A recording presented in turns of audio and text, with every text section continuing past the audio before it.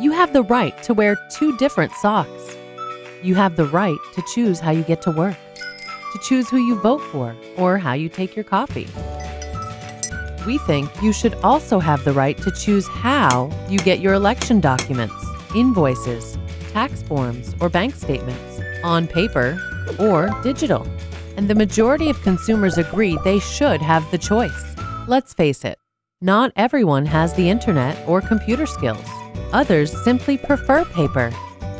For many of you, information on paper is more secure, better for your record keeping, and easier to check. But often, you're not given the choice. Sometimes it's difficult for you to revert to receiving documents in paper format. Sometimes you're charged more if you ask for a paper version. Keep Me Posted is making a pledge. We think all citizens should have the choice on how to receive information. We think there should be no extra costs when preferring paper. And we think citizens should be asked for consent before paper documents are replaced by a digital version. Keep Me Posted is a pro citizen choice campaign. It is standing up for citizens who may be disadvantaged by a lack of choice, and for citizens who don't agree with the switch to digital that is being imposed on them. Join the supporters and sign up to the pledge.